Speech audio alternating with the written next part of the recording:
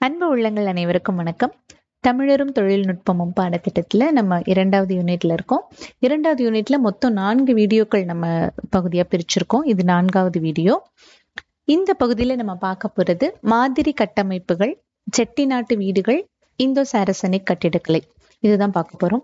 இந்த மாதிரி கட்டமைப்புகள்ல ரெண்டு விதமான கட்டமைப்புகள் நம்ம பார்க்க போறோம். அதுல வந்து மதுரை மீனாட்சி அம்மனோட கோவில் திருமலை நாயக்கர் மஹால் ரெண்டுமே மதுரையில தான் இருக்கு. அதுக்கப்புறம் செட்டிநாட்டு வீடுகள் இந்தோ சாரசனை கட்டிடக்கலையில என்னென்னலாம் அவங்க கட்டியிருக்காங்க தமிழ்நாட்டுல இதெல்லாமே பார்க்க போறோம். முதல்ல மதுரை மீனாட்சி அம்மன் ஆலயம். மதுரை மீனாட்சி அம்மன் ஆலயம் அப்படின்னு மட்டும் இல்லாம மதுரை மீனாட்சி சுந்தரேஸ்வரர் கோயில் அப்படின்னு சொல்லப்படுது. வைகை ஆற்றங்கரையில அமைந்த ஒரு கோவில் இது. கோவில் நகரம் அப்படின்னு மதுரையை சொல்லுவாங்க. ஒரு சிலர் காஞ்சிபுரத்தை கோவில் நகரம்னு சொல்லுவாங்க.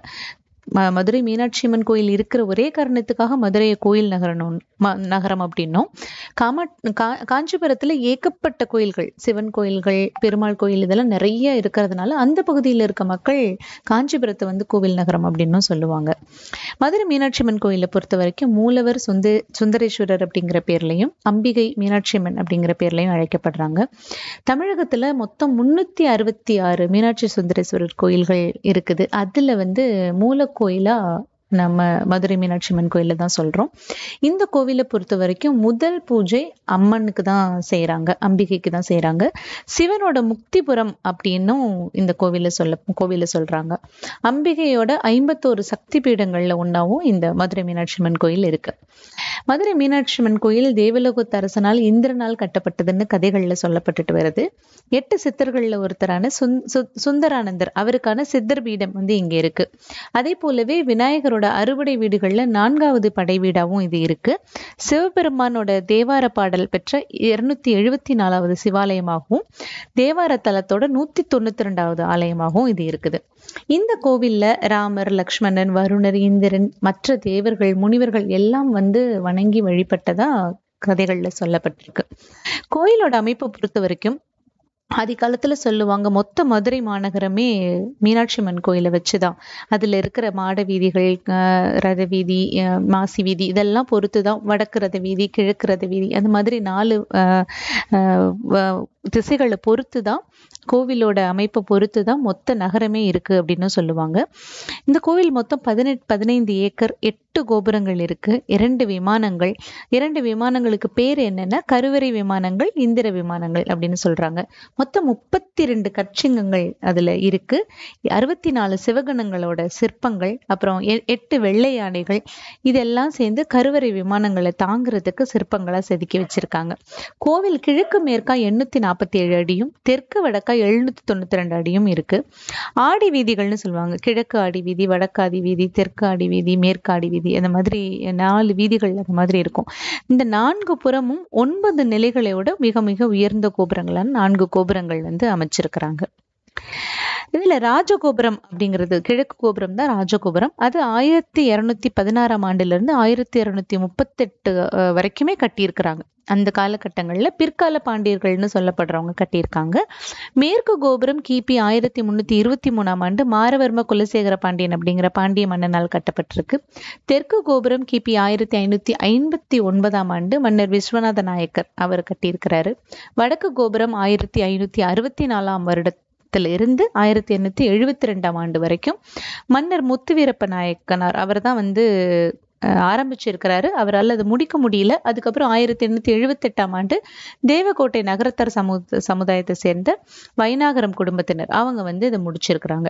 இந்த படங்கள்ல எல்லாம் நம்ம பார்க்குறோம். மதுரை மீனாட்சி அம்மன் கோயிலோட ஆலயம் அது பாக்குறோம் அப்புறம் பழைய காலத்துல எப்படி கோவில் கிழக்கு கோபுரம் ராஜகோபுரம் எப்படி இருந்தது அப்படிங்கிறது இந்த படங்கள்ல நம்ம பார்க்குறோம். மீனாட்சியம்மன் கோயிலில் வந்து கலை அழகுமிக்க மண்டபங்கள் வந்து ஏகப்பட்ட மண்டபங்கள் இருக்கு. ஒவ்வொரு மண்டபத்திலையும் அழகான சிற்ப வேலைப்பாடுகள் அழகிய நுணுக்கங்களோட அது ஒவ்வொரு சிற்பத்துக்கும் ஒவ்வொரு மண்டபத்துக்கும் தனித்தனி சிறப்புகள் வச்சு சொல்றாங்க.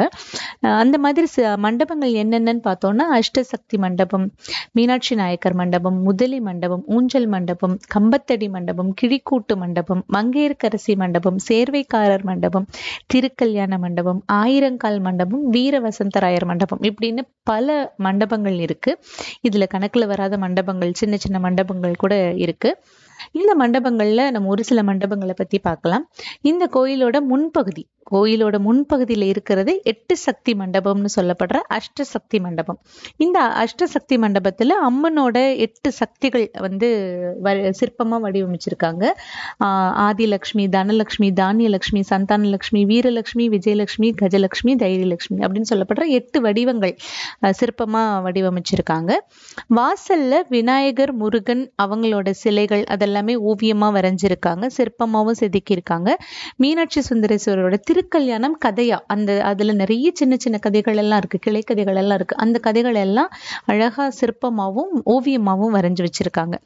உள்ள இந்த அஷ்டசக்தி மண்டபத்துக்குள்ள உள்ள தூ- தூண்கள்ல தான் இந்த எட்டு சக்தியோட வடிவங்கள் வந்து சிற்பமா செதுக்கியிருக்காங்க.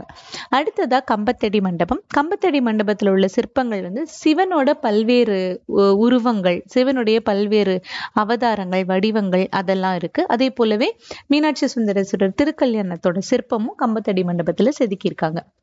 இந்த கம்பத்தடி மண்டபம் கிபி ஆயிரத்தி ஐநூத்தி அறுபத்தி நாலாம் ஆண்டுல இருந்து ஆயிரத்தி ஐநூத்தி எழுபத்தி இரண்டாம் ஆண்டு வரை கட்டியிருக்காங்க. நாயக்க மன்னர் அஹ், முதலாம் கிருட்டிணப்ப நாயக்கர் அப்படிங்கிறவர் தான் கட்டியிருக்கிறாரு. அதுக்கப்புறம் அதை முடிச்சு திருப்பணியெல்லாம் செஞ்சது வந்து ஆயிரத்தி எண்ணூத்தி எழுபத்தி ஏழாம் ஆண்டுல திருப்பணி செஞ்சிருக்காங்க பின்னால. ஆயிரத்தி எண்ணூத்தி எழுபத்தி ரெண்டுல முடிச்சுட்டாங்க. அதுக்கப்புறமா நாட்டுக்கோட்டை நகரத்தார் திரு புதுப்பிச்சு திருப்பணி செஞ்சிருக்கிறாங்க. சுவாமி சன்னதியில நந்தி மண்டபம் அப்படின்னு ஒண்ணு இருக்கு. அந்த நந்தி வந்து ஒரே கல்லிலான ஆன மிகப்பெரிய நந்தி அது. ஒரே கல்லில் ஆன நந்தி. இது வந்து விஜயநகர் அந்த கல் நந்தியோட கல்லை வச்சு எந்த காலத்துல அதை வடிவமைச்சிருக்காங்க அப்படின்னு பார்த்தாங்கன்னா அது விஜயநகர காலத்துல செய்யப்பட்ட ஒரு அமைப்பா இருந்திருக்கு. அடுத்து நம்ம பார்க்க போறது ஆயிரங்கால் மண்டபம். மதுரை மீனாட்சி அம்மன் கோயில்னு எடுத்துக்கிட்டாலே நம்ம நிறைய நிறைய சிறப்பம்சங்கள் இருக்கு. கோவிலோட கோபுரங்கள் அதுக்கப்புறமா பொற்றாமரை குளம் ஆயிரங்கால் மண்டபம் அதுக்கப்புறமா உள்ள இருக்கிற சிற்பங்கள் இதெல்லாமும் கோவிலுக்கு மிகப்பெரிய பெருமை தரக்கூடிய விஷயங்கள்.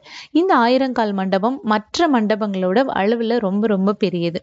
மதுரையை ஆயிரத்தி நானூறுகள்ல ஆண்ட வீரப்ப நாயக்கர் அவர் காலத்துல தான் இந்த ஆயிரங்கால் மண்டபம் அமைக்கப்பட்டிருக்கு. இந்த ஆயிரங்கால் மண்டபத்தோட வாசல்ல மேல் விதானம் வந்து தமிழ் ஆண்டுகள் அறுபது ஆண்டுகள் இருக்கும். அந்த அறுபது ஆண்டுகளை குறிக்கிற சக்கரம் வந்து மேல வந்து வரையப்பட்டிருக்கு. இந்த சிற்பங்கள் எல்லாம் செதுக்கின மாதிரி தொள்ளாயிரத்தி எண்பத்தைந்து தூண்கள் இருக்கு. இந்த தூண்கள் வந்து நம்ம எந்த பக்கம் இருந்து பார்த்தாலும் ஒரே நேர்கோட்டில் இருக்க மாதிரி தெரியும். இப்போ இந்த படத்துல கூட நம்ம பார்க்கலாம். இந்த பக்கம் இருந்து பார்த்தாலுமே நமக்கு இதெல்லாம் ஒரே நேர்கோட்டில் இருக்க மாதிரி இருக்கும். இந்த தூண்களும் ஒரே நேர்கோட்டில் இந்த தூண்களும் ஒரே நேர்கோட்டில் எந்த கோணத்துல இருந்து பார்த்தாலும் ஒரே நேர்கோட்டில் இருக்கிற மாதிரி ரொம்ப ரொம்ப அற்புதமான ஒரு தொழில்நுட்பத்தை பயன்படுத்தி இந்த தூண்கள்லாம் வடிவமைச்சிருக்காங்க. தூண்கள் ஒவ்வொரு ஒவ்வொன்றும் எழுபத்தி மூணுல இருந்து எழுபத்தி ஆறு சதுர மீட்டர் நீள நீள அகலம் உள்ளதா இருக்குது. இது மொத்த தூண்களும் சேர்ந்துதான் அந்த மேல் விதானம் அந்த கூரையை தாங்கிட்டு இருக்கு இந்த ஆயிரம் கால் மண்டபத்துல இன்னிசை எழுப்பக்கூடிய இருபத்தி ரெண்டு தூண்கள் வந்து இருக்கு. பொதுவா இன்னிசை தூண்கள் இசை எழுப்பக்கூடிய தூண்கள் அப்படின்னா அந்த இசையோட அந்த ஏழு ஸ்வரங்களான சாரி காமா பதனிசா அது வர்ற மாதிரி இசை வர்ற மாதிரி தூண்கள் வடிவமைச்சிருப்பாங்க. அதே போலவே இங்க இருக்கிற இருபத்தி ரெண்டு தூண்களையும் வேற வேற விதமான இன்னிசை ஒலி எழுப்புறது ரொம்ப அதிசயமான ஒரு விஷயமா பார்க்கப்படுது. அடுத்தது வீர வசந்தராயர் மண்டபம். இந்த மண்டபம் மொத்த ச- பரப்பளவு ஏழாயிரம் சதுர அடி. ஆயிரங்கால் மண்டபத்தோட முன்பகுதியில் இந்த வீர வசந்தராயர் மண்டபம் அமைஞ்சிருக்கு. நானூறு ஆண்டுகள் பழமையான மண்டபம் இது. இந்த மண்டபத்துல வந்து மண்டபத்துல நடுவில் தான் சுவாமியை நோக்குன மாதிரி நந்தி சிலை அமைக்கப்பட்டிருக்கு. மொத்தமா மீனாட்சி அம்மன் கோயில்ல வடக்கு ஆதி வீதியில ஒ- ஒரே கல்லாலான ஐந்து இசைத்தூண்கள் அப்புறம் ஆயிரங்கால் மண்டபத்துல இருபத்தி ரெண்டு இசைத்தூண்கள் மொத்தம் இருபத்தி ஏழு இசைத்தூண்கள் இருக்குது. பொற்றாமரை குளத்தோட பரப்பளவு ஒரு ஏக்கர் பரப்பளவுல அமைக்கப்பட்டிருக்கு.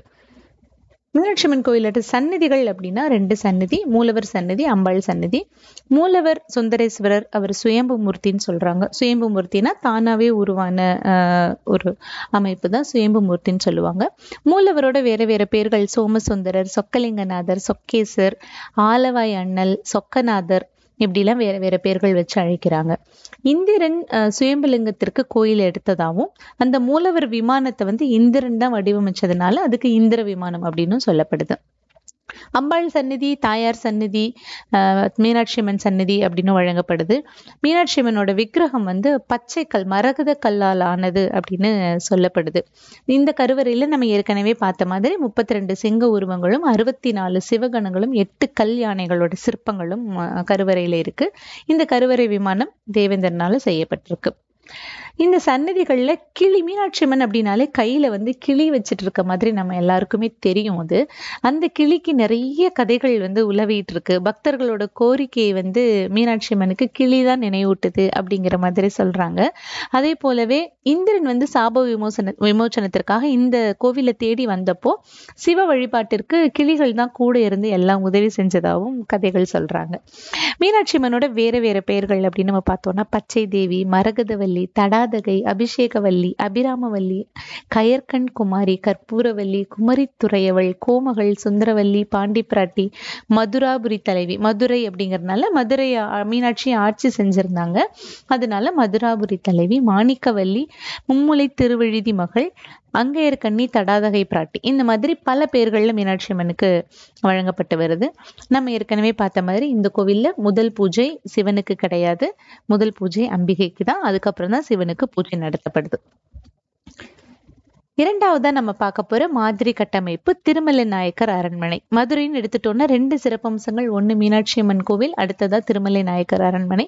இரண்டு கட்டமைப்புகளுமே உலக அளவில் மிக மிக மிக அஹ், பெயர் பெற்றவை.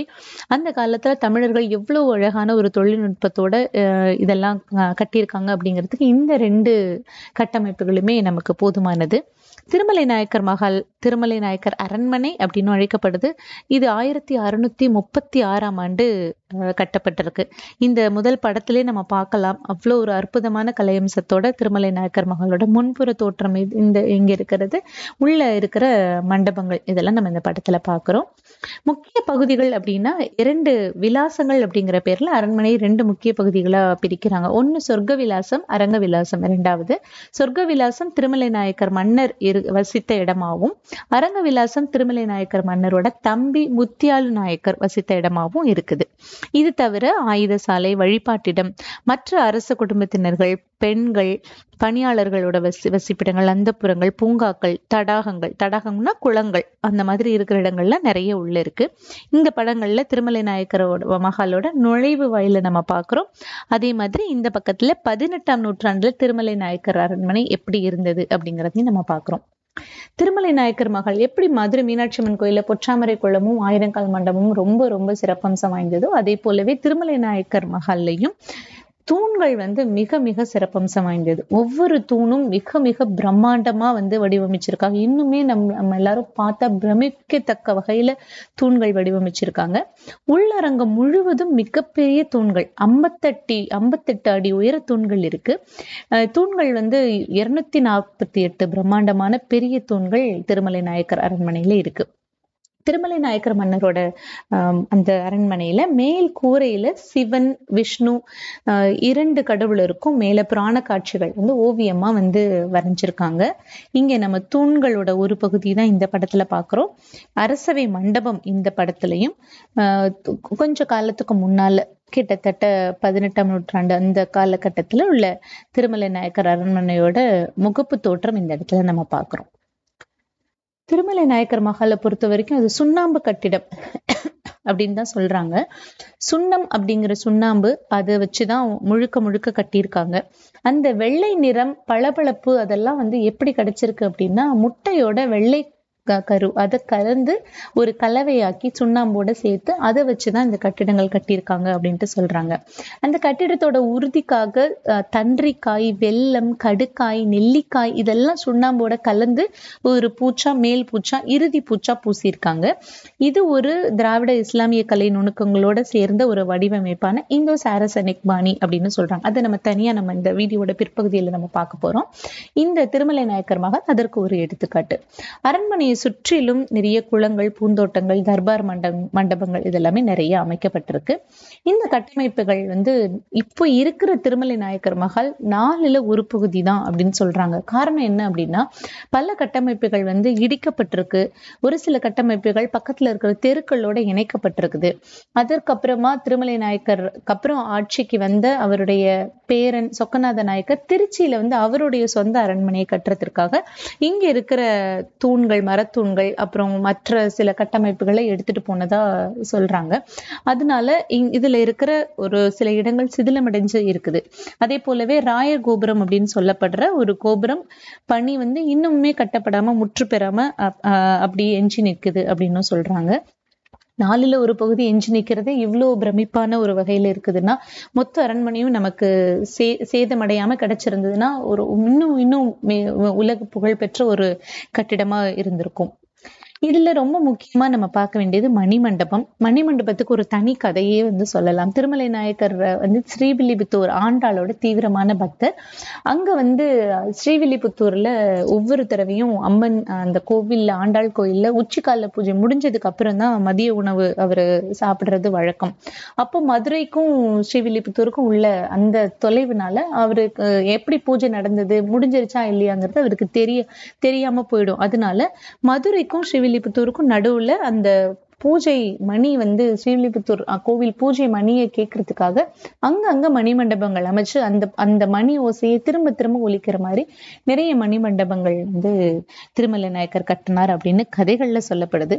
இதே கதையை நம்ம வீரபாண்டிய கட்டபொம்மனுக்கும் சொல்லி கேள்விப்பட்டிருப்போம். ஆஹ் பாஞ்சாலங்குறிச்சி வந்து ஒரு ஆண்ட வீரபாண்டிய கட்டபொம்மன்.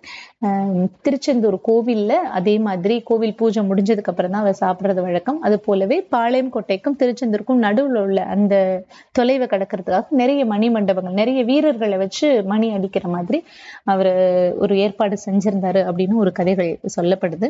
எப்படி இருந்தாலும் அந்த காலத்துல நம் தமிழ்நாட்டு மன்னர்கள் மணி மண்டபங்கள் ஆஹ் அமைச்சிருக்காங்க அப்படிங்கிற ஒரு தொழில்நுட்பத்தையும் அதை கரெக்டா அதை யோசிச்சு அவங்க வந்து ஆஹ் இத்தனை மணி மண்டபங்கள் அந்த கோயில் மணி பூஜையை வந்து கேட்கறதுக்கான ஏற்பாடுகள் வந்து செஞ்சுட்டு இருக்காங்க அப்படிங்கறதெல்லாம் நம்ம ரொம்ப பாராட்டப்பட வேண்டிய விஷயம். திருமலை நாயக்கர் மகள இன்னமும் இந்த ஒலி ஒளி காட்சி ரொம்ப சிறப்பா பேசப்படுது. ஆயிரத்தி தொள்ளாயிரத்தி எழுபத்தோராம் ஆண்டு இது தேசிய நினைவு சின்னமா அறிவிக்கப்பட்டது. அப்போ இருந்து சுற்றுலா வளர்ச்சிக்காக ஒவ்வொரு தடவையுமே இந்த ஒளி ஒளி காட்சி அமைக்கப்பட்டிருக்கு. இந்த நம்ம வலது பக்கத்துல பாக்குற படத்துல கூட ஒவ்வொரு தூணுக்கும் வேற வேற ஒளி அமைப்பு அமைக்கப்பட்டிருக்கு. இன்னைக்கு வரைக்கும் அந்த ஆயிரத்தி தொள்ளாயிரத்தி எண்பத்தோராம் ஆண்டுல இருந்து அந்த ஒளி ஒளி காட்சி அமைக்கப்பட்டிருக்கு. இந்த பகுதியில திருமலை நாயக்கர் அரசவை மண்டபத்தோட மாடம் அது ஏதாவது ஒரு அரசவை கூட்டம் நடக்கும்போது மேல அமர்ந்து பார்க்கிற மாதிரி இருக்கிற அந்த அமைப்பெல்லாம் நம்ம இங்க பாக்குறோம் இன்னும் சில படங்கள் உங்களுக்காக நான் சேகரிச்சிருக்கேன். திருமலை நாயக்கர் மன்னரோட அரியாசனத்தோட மாதிரி இங்க இருக்கு. அதே போலவே அரண்மனை மேற்கூரை ஓவியங்கள் மேற்கூரையோட அமைப்புகள் அதெல்லாமே நம்ம இங்க பாக்குறோம். இங்க இருக்கிறது தான் நம்ம இங்க இந்த படத்துலயும் நம்ம பாக்குறோம். மேற்கூரையோட கட்டிட அமைப்பு இதுல பாக்குறோம். அதுக்கப்புறமா மேற்கூரையோட உட்புற தோற்றம் இந்த மாதிரி இருக்கு. திருமலை நாயக்கர் மன்னரோட சிற்பம் ஒரு சிலை வந்து இங்க நம்ம பாக்குறோம். அதே போலவே அரண்மனையோட முகடுகள் மேலிருந்து நம்ம எடுக்கப்பட்ட புகைப்படம் அரண்மனையோட வெளிப்புற முகடுகள் அதுக்கப்புறமா திருமலை நாயக்கர் மகளோட மன்னர் அரண்மனையோட அரசவை மண்டபம் இது. தூண்கள் வந்து மேற்புறத்திலிருந்து எடுக்கப்பட்ட புகைப்படம் இது. இதுதான் ஒளி ஒளி காட்சியில நம்ம பார்த்த அதே இடம்தான் இது. அடுத்ததா நம்ம பார்க்க போறது செட்டிநாட்டு வீடுகள். செட்டிநாட்டு வீடுகள் தமிழ்நாட்டை பொறுத்த வரைக்கும் சிவகங்கை மாவட்டத்துல காரைக்குடி அந்த பகுதியில இருக்கிற ஆஹ், வீடுகள். அதற்கப்புறமா புதுக்கோட்டை மாவட்டத்தில் உள்ள ஒரு சில வீடுகள். இந்த வீடுகள் தான் செட்டிநாட்டு பகுதியில் உள்ள பாரம்பரிய வீடுகள் அப்படின்னு சொல்றோம். பதினெட்டு பத்தொன்பது மற்றும் இருபதாம் நூற்றாண்டு தொடக்கம் வரைக்கும் கட்டப்பட்ட செட்டிநாட்டு வீடுகள். இந்த கட்டிட கட்டிடக்கலைக்கே ஒரு மகுடம் சுட்டுற மாதிரி இருக்கும். ரொம்ப ரொம்ப உலக புகழ் பெற்றவை. இந்த செட்டிநாட்டு வீடுகளை பத்தி நிறைய ஆராய்ச்சி கட்டுரைகள் எழுதியிருக்காங்க. நிறைய பேர் இதை படிச்சு ஆராய்ச்சி செஞ்சு முனைவர் பட்டம் கூட வாங்கியிருக்காங்க. ஆயிரம் ஜன்னல் வைத்த வீடுகள் கூட இங்க இருக்கு அப்படின்னு சொல்லப்படுது. ஆஹ் நகரத்தார்னு சொல்லப்படுற செ- செட்டிநாட்டு மக்கள் அவங்களோட வீட்டு விழாக்களை வந்து வீட்டிலேயே மண்டபம் எதுவும் தேடி போகாம வீட்டிலேயே கொண்டாடக்கூடிய அளவுக்கு திருமணத்தை நட நடத்துற அளவுக்கு மிகப்பெரிய வீடுகளும் வசதி வாய்ப்பு வசதி அமைப்பு கட்டமைப்புக்குள்ள வீடுகளும் தான் செட்டிநாட்டு வீடுகள்ல அமைஞ்சிருக்கு. மிகப்பெரிய மண்டபம் போல இருக்கும் நம்ம இங்க பார்க்கும்போதே நமக்கு தெரியும். ஒவ்வொரு வீட்லயுமே க வண்ணங்கள் எப்படி கொடுத்திருப்பாங்கன்னா பச்சை மஞ்சள் சிவப்பு அப்படின்னு வசீகரிக்கிற வண்ணங்கள் வந்து கொடுத்திருப்பாங்க. இந்த வண்ணங்கள் தான் அ- அளவுக்கு அதிகமா பயன்படுத்தியிருப்பாங்க. குறைந்தது முப்பது அறைகள் வந்து அந்த வீட்டுல இருக்கும். அஹ் எடுத்துக்காட்டா கார்நாடு காத்தான் அரண்மனை இருக்கு. சிவகங்கை பகுதியில அந்த வீடுகள்ல பார்த்தீங்கன்னா பார்த்தி பார்த்தோம்னா முப்பது அறைகளை விட கொஞ்சம் அதிகமா இருக்கும். ஒரு சில அரண்மனைகள்ல அதை விட கொஞ்சம் அதிகமா இருக்கும். மத்தபடி குறைஞ்சதும் எல்லா வீடுகள்லயும் முப்பது அறைகள் இருக்கிற அளவுக்கு தான் கட்டியிருப்பாங்க. ஒரு ஏக்கர் இல்லை இரண்டு ஏக்கர் பரப்பளவுக்கு இருக்கும். முன்புற வாசல் வந்து ஒரு தெருவிலையும் பின்னாடி வாசல் வந்து இன்னொரு தெருவிலையும் இருக்கும். அந்த மாதிரி தான் வீடுகள் கட்டியிருப்பாங்க. ரொம்ப ரொம்ப பிரம்மாண்டமா இருக்கும். வீடுகளோட தரைப்பகுதி மற்ற வீடுகளை விட ஒரு ஐந்து அடி அளவுக்கு உயரம் அதிகமாக தான் இருக்கும். வீடுகளுக்கு நடுவுல வந்து வானவெளி முற்ற அமைப்பு நம்ம இந்த இடத்துல பாக்குறோம் இல்லையா? இந்த மாதிரி முற்ற அமைப்பு வந்து இது இருக்கும். இந்த முற்ற அமைப்பு வந்து ரொம்ப சிறப்பம்சம் வாய்ந்த ஒரு அஹ், பகுதி இங்க செட்டிநாட்டு வீடுகள்ல. ஏன்னா முன்புற கதவு பின்புற கதவு அப்புறம் இங்க பக்கத்துல இருக்கிற எல்லா இந்த பக்கம் எல்லாம் அறைகள் இருக்கும். இந்த அறைகள் எல்லாம் நம்ம எல்லாமே பார்க்க முடியும். எல்லாத்தையும் ஒரு இணைக்கிற ஒரு பகுதியா இந்த வானவெளி முற்றம் இருக்கும். அதே போலவே வெளிப்புற காற்று வந்து வீட்டுக்குள்ள வர்றதுக்கும் இந்த வான்வெளி அமைப்பு வசதியா இருந்திருக்கும். இந்த வீட்டோட முன் வாசலும் நம்ம இருந்து பார்த்தோம் அப்படின்னா ஒரே ஒரே நேர்கோட்டுல இருக்கிற மாதிரி இருக்கும். இந்த ப படத்துலயும் நம்ம பார்க்கிறது அந்த முற்றங்கள் பக்கத்துல அறைகள் எல்லாம் எப்படி இருக்குது அப்படிங்கிறத பாக்குறோம் செட்டிநாட்டு வீடுகளை பொறுத்த வரைக்கும் எல்லா தூண்களுமே தேக்கு மரத்தாலான தூண்கள் தான் இந்த தேக்கு மரத்தை தேக்கு மரத்தை வந்து அந்த காலத்துல நகரத்தார் பெருமக்கள் பர்மாவுல வந்து அவங்க வாணிபம் செய்ய போய் அங்க இருந்து தேக்கு மரங்களை வந்து கப்பல்ல வரும்போது சங்கிலியால கட்டி கடல்ல போட்டுருவாங்களாம். கடல்ல அப்படியே கட்டி அஹ், கப்பல்கள் வந்து இழுத்துட்டு வரும். இங்க வந்ததுக்கு அப்புறமா நாகப்பட்டினம் துறைமுகத்துல அந்த தேக்கு மர மரங்கள் எல்லாம் அந்த மரத்துண்டுகள் எல்லாத்தையும் அவங்க அங்க இருந்து சேகரிச்சு செட்டி செட்டிநாட்டு நகரத்துக்கு கொண்டு வந்து கட்டி வீடுகள் கட்டினதா சொல்லப்படுது.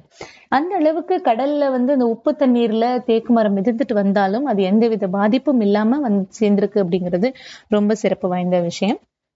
வீட்டோட முன்புறம் வந்து நுழைவு வாசல்ல விசாலமான திண்ணை இருக்கும். நம்ம இதுக்கு முன்னாடி பார்த்த வீடியோக்கள்ல நம்ம சொல்லியிருப்போம் அந்த காலத்துல திண்ணை வச்ச வீடுகள் வந்து கட்டியிருப்பாங்கன்னு.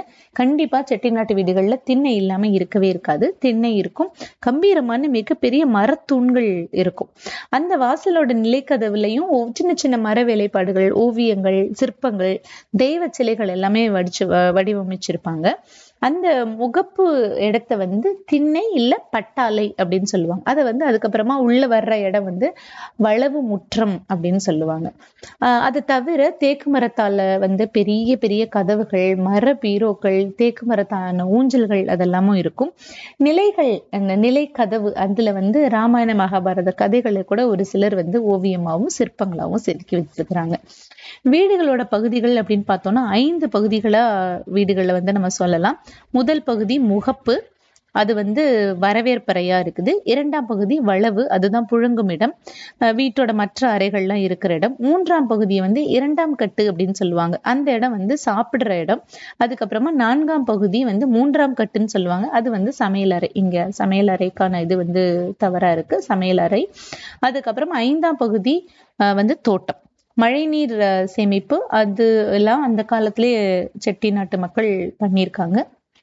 பதினெட்டாம் நூற்றாண்டிலே வீட்டு மழை நீர் வந்து பொது குளத்துல கால்வாய் மூலமா போய் சேர்ற மாதிரி அமைப்பு செஞ்சிருக்காங்க. ரொம்ப முக்கியமான விஷயம் என்ன அப்படின்னா செட்டி நாட்டு வீடுகளுக்கு என்னைக்குமே வெள்ளை அடிக்கிறதே கிடையாது. சுவர்களோட பளபளப்பு இன்னமும் குறையாம அப்படியே இருக்கு. நம்ம திருமலை நாயக்கர் மகால் அந்த அரண்மனையில பார்த்த மாதிரி முட்டையோட வெள்ளைக்கரு கடுக்காய் அப்புறம் இன்னும் பல உறுதியான கட்டுமான பொருட்களை வந்து சரியான விகிதத்துல கலந்து சுவர்களுக்கு வந்து வண்ணம் பூசுறாங்க. எந்த காலத்திலயுமே நம்ம ஒவ்வொரு வருடத்துக்கு ஒரு முறை நம்ம வீடுகளுக்கு எல்லாம் வெள்ளை அடிக்கிற மாதிரி செட்டிநாட்டு வீடுகளுக்கு வெள்ளை அடிக்கிறதே கிடையாது. சின்ன சின்ன கீறல்கள் அங்கங்க இருக்கலாம். ஆனா அது எதுவுமே வந்து எந்த விதத்துலையும் பாதிப்படையாத அளவுக்கு தான் இன்னமும் இந்த வீடுகள்லாம் இருக்கு.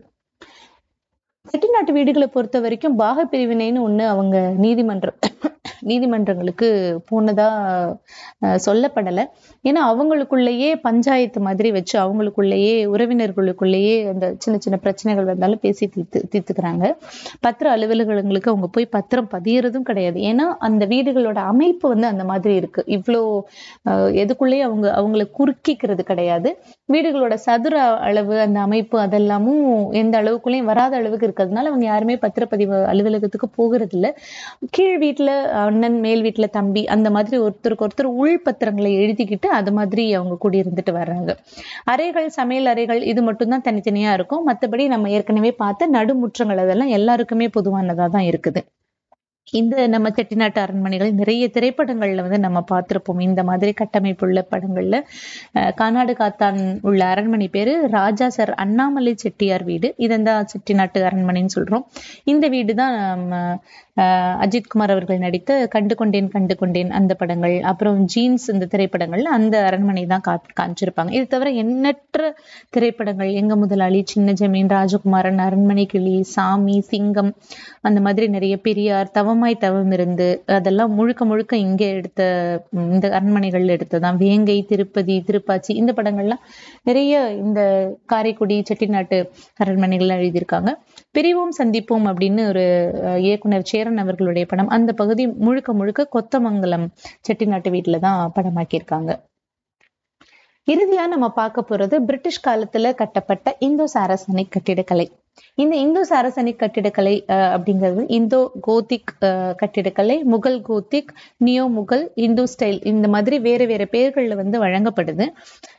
எதனால வந்து இந்தோ சாரசனிக் கட்டிடக்கலைன்னு இது பேர் வந்தது அப்படின்னா பத்தொன்பதாம் நூற்றாண்டுல வந்து சுதேச சுதேச சமஸ்தானங்கள் அப்படின்னு சொல்லுவாங்க. அப்போ வந்து அஹ், பிரிட்டிஷ் அரசாங்கம் பொது கட்டிடங்கள் அப்புறம் அரசு கட்டிடங்கள் இதெல்லாம் எப்படி கட்டலாம் அப்படின்னு ஒரு முடிவு பண்ணினப்போ இந்திய இந்திய முகலாயர்கள் இந்திய இஸ்லாமிய கலை நுணுக்கங்களோட கலந்து ஒரு வகை கட்டிடங்கள் கட்டலாம் அப்படின்னு கட்டப்பட்ட பாணி தான் இந்தோ சாரசனிக் கட்டிடக்கலை. முகலாய கட்டிடக்கலை இதுனும் அப்படின்னு இதை சொல்றாங்க. இதுல சின்ன சின்ன இந்திய ம- நாட்டோட பழைய பாரம்பரிய பாணி இருக்கும். அதே போலவே இந்திய கோயில்களோட கட்டிடக்கலை பாணியும் அலங்கார கூறுகளை இதுல வந்து வடிவமைச்சிருக்காங்க. சாரசன் அப்படின்னா மத்திய கிழக்குல வடக்கு ஆப்பிரிக்கால வந்து அரபு மொழி பேசுற ஒரு முஸ்லிம் மக்களை குறிக்கிற ஒரு ஒரு ஒரு சொற்பதம்.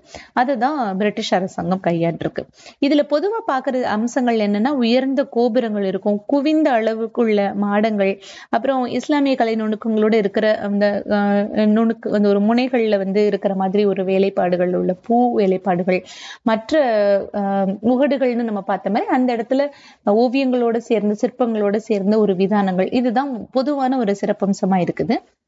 ஒரு சில இந்த புகைப்படங்கள்ல அது மாதிரி இந்தோ சாரசனிக் கட்டிடக்கலையோட ஒரு சில மாதிரிகளை பார்க்குறோம் மும்பை டெல்லி கொல்கத்தா சென்னை இந்த மாதிரி பல இடங்கள்ல இந்த மாதிரி இந்தோ சாரசனிக் கட்டிடங்கள் கட்டப்பட்டிருக்கு. இந்தோ சாரசனிக் கட்டுமான முறையில அதிக அளவு கட்டிடங்கள் கட்டப்பட்டது நம்ம சென்னையில தான். சொல்ல போனா முதல் கட்டிடமே அஹ், நம்ம சென்னை சேப்பாக்கத்துல இருக்கிற ஆற்காடு நவாபோட கட்டிடம் தான் முதல் கட்டிடமா சொல்லப்படுது இது ஆயிரத்தி எழுநூத்தி அறுபத்தெட்டாம் ஆண்டு கட்டப்பட்டிருக்கு. கிட்டத்தட்ட நூத்தி பதினேழு ஏக்கர்ல இந்த மாளிகை இருக்கு. இது தவிர சென்னையோட உயர்நீதிமன்ற கட்டிடம் இதுல நம்ம பார்க்கிறோம் சென்னை உயர்நீதிமன்ற கட்டிடம் அப்புறம் சென்னை எழும்பூர் நிலையம் ரயில் நிலையம் விக்டோரியா பப்ளிக் ஹால் அப்படின்னு சொல்லப்படுற அந்த பப்ளிக் ஹால் அதுக்கப்புறமா சென்னை பல்கலைக்கழகத்தோட செனட் இல்ல கட்டிடம். இது எல்லாமும் இந்த சாரசனிக் பாணியில தான் வந்து கட்டப்பட்டிருக்கு. மும்பையில சத்ரபதி சிவாஜி அஹ், அந்த ரயில் நிலையம் சத்ரபதி சிவாஜி டெர்மினஸ் இதுக்கு முன்னால அந்த விக்டோரியா டெர்மினஸ்ன்னு சொல்லிட்டு இருந்தாங்க. இப்ப வந்து சத்ரபதி சிவாஜி டெர்மினஸ் அப்படின்னு மாத்திருக்காங்க. இது வந்து இந்து சாரசனை கட்டிடக்கலையோட மிகப்பெரிய எடுத்துக்காட்டை நம்ம சொல்லலாம். இது விக்டோரியன் கோதிக் மறுமலர்ச்சி கட்டிடைக்கு கட்டிடத்திற்கு ஒரு எடுத்துக்காட்டு. இது ஆயிரத்தி எண்ணூத்தி எழுபத்தி எட்டாம் ஆண்டு அங்- அப்ப ஆரம்பிச்சு கிட்டத்தட்ட பத்து ஆண்டுகள் ஆஹ், தொடர்ந்து நடந்திருக்கு இந்த கட்டிடம். அதுக்கப்புறமா ஆஹ், அதுல என்னென்னலாம் இருக்கு அப்படின்னு பார்த்தோம்னா அந்த கல் குவி மாடங்கள். இதெல்லாம் நம்ம பார்க்கலாம். குவிந்த மாடங்கள் முகடுகள் அப்புறம் கோபுரங்கள் கூர்மையான வளைவுகள் கொண்ட கோபுரங்கள். விசித்திரமான தரை தரை அந்த திட்டங்கள். ஒ- ஒவ்வொரு அடுக்கு மேல மேல போகும்போது ரொம்ப விசித்திரமாவே இருக்கும். ஆஹ் முட்கள் கூர்மையான முட்கள் போன்ற குவிமாடங்கள் கோபுரங்கள் கண்ணாடி ஜன்னல்கள் வண்ண ஓடுகள் ஓடுகள் அலங்கார இரும்பு கிரில்கள்லாம் வச்சு இந்த ஆஹ் கட்டிடங்கள் கட்டப்பட்டிருக்கு. இது இடைக்கால இத்தாலிய மாதிரிகளோட அடிப்படையில உயர் விக்டோரியன் கொதிக் வடிவமைப்புல இந்த சத்ரபதி சிவாஜி ஆஹ், ரயில் நிலையம் கட்டப்பட்டிருக்கு. இது மும்பையில இருக்கு.